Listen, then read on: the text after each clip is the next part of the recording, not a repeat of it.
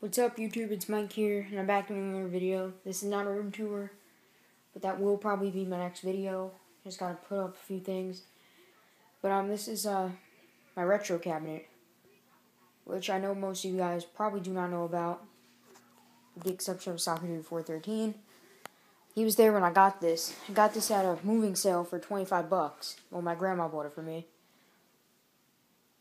Um, I know if you watch the Game Scavengers, you might know about this. But, um, you know, I'm just going to show you what it is and everything. So that you guys know. Basically what this is, it's a cabinet and you'll see what it's like. On top, all I have here is a new Super Mario Bros. 2 box. Promotional box. That I put together. And Pokemon Black and White 2 box I put together. It's the modern part of this. Well, DS is kind of retro to some people now, but um. Anyway, so you open it up. Actually, no, mm, no. I'm gonna show you how to open it up. Bam. Bam. So I'm just gonna show you what it's like in here. Basically, what we got here on the sides, I'll show you first, is uh, my Atari games, my two Odyssey games. I don't even have an Odyssey.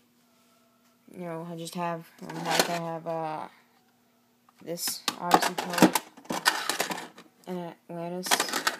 And, you know, you got my Atari games there. There are a couple good ones in there, like Donkey Kong. Um, then you got my PS1 games.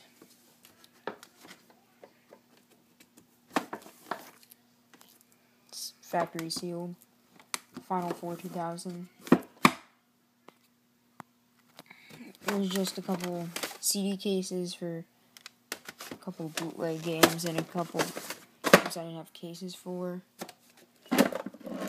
Down here, tons and tons of loose disc games I got for my for free. Most of my collection I got for free actually for PlayStation One. Um, my Game Boy Advance SP collection well, not really. I have some more, but uh, just what I got for now. I used to have a bunch as a kid that I traded out, but I'm um, like these are just my box GBSP stuff, like Factory Seal, Drake and Josh, Namco Museum. Uh, my only 11 game PSP collection, which I gotta build up. I've got Ratchet and Clank. Harry Potter, which I have for 50 cents.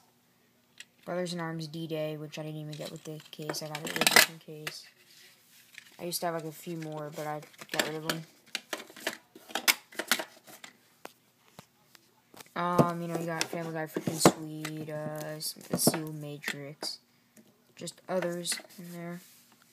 At the bottom, it's my Genesis stuff. Only four Genesis games. Moonwalker, Michael Jackson, rare rare game, Monopoly, both complete box those two, and my two like loose cards got uh, Liberty or Death, and Jurassic Park. And under that, I have my two complete box Super Nintendo games, this Pac-Man Wheel Fortune Deluxe Edition. And you shimmy over here at the bottom. You know, you got mostly extra stuff like I printed out SpongeBob SquarePants movie cover that I got printed out when I was a little kid. My Guitar Hero 2 artwork. Official artwork from a case. Um, some Super NES, like the plastic cases.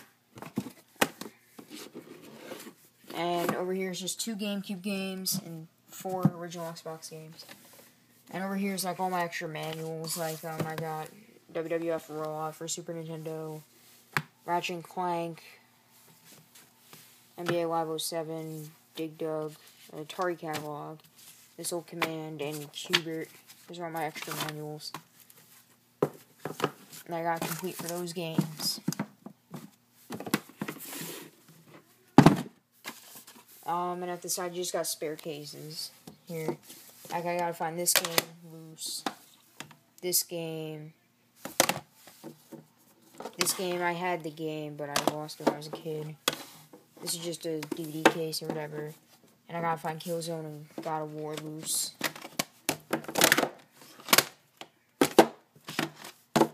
And you know, in the middle is the PS2 and the GameCube stuff. No, that's pretty obvious. Uh, On the sides, got my Super Nintendo collection. It's very, very small, actually. But it's not bad for what I have. Like, I got Donkey Kong Country. Donkey. No, no, that's not Donkey Kong Country. Donkey Kong Country 2. Kirby's Avalanche I have in there. It's hard to see the label. I have Butthead. However, I'll probably eventually make a Super Nintendo collection video. And uh, my Nintendo 64 collection. Got a couple decent titles in here, like Zelda, Mario, Banjo Kazooie, Star Fox,